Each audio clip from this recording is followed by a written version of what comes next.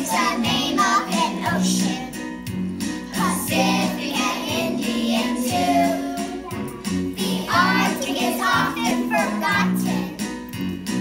I can name the oceans, can you? Oceans, oceans, oceans